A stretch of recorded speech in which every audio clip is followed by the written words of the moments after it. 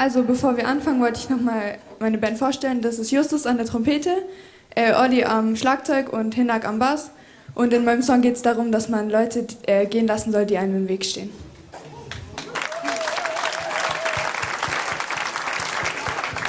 Genau, und hier an Vocals und am Piano haben wir die Julia.